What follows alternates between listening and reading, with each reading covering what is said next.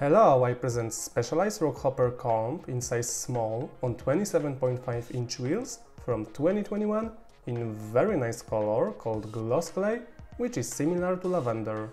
Comp's equipment do not impress, even though it's the middle version and cost over 715 euros.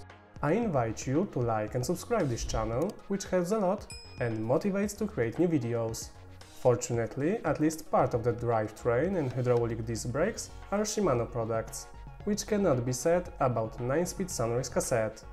Cranks with integrated chainrings, 2-bolt seat post, Bridgesport saddle with a width of 155mm, short stem, handlebars and rims with internal width of 25mm are made by Stout, so specialized sub-brand. The same as ground control 2.35 tires and I still cannot understand what is the point of putting such aggressive and wide tires on such a basic bike which makes it really sluggish. But it's still nothing, considering almost 3 kg fork with steel spring from Suntour.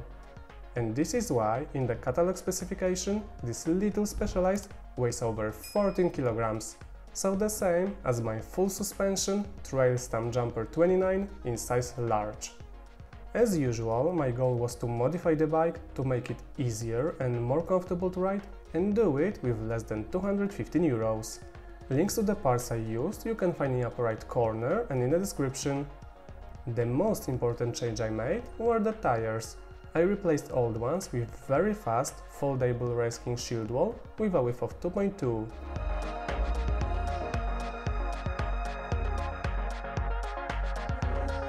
I also save a lot of weight on cranks by installing a Light Deore 6000 with Hollowtech 2 system and cheap Deckas chainring. I replaced cassette to Shimano Deore because in my opinion Sunrace work worse and is heavier. I also put on nicer and lighter rotors, which creates more aggressive and modern look, I installed force handlebar with 45mm rise for a more comfortable and upright position and I added wireless Sigma BC 10.0 speedometer so the owner can now track her riding progress. The cherry on top was a 9 years old super light RockShox Reba Air fork which weighs only 1600 grams. I had to hunt on it for over 3 months because nowadays it's not easy to find something good for 27 inch wheels and straight steerer tube.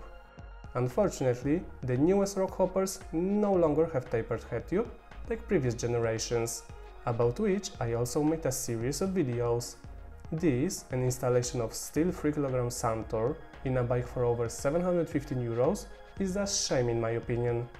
Anyway, after these changes, Rockhopper becomes lighter by over 2 kg, it is also more agile, faster and more comfortable, and this is the cost of modifications after selling all parts.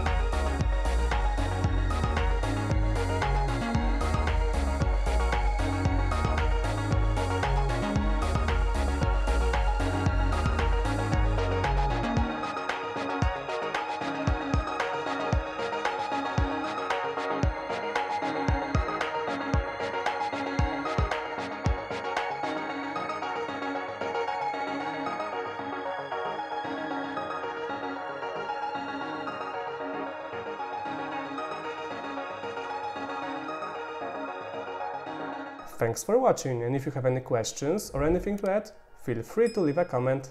See ya!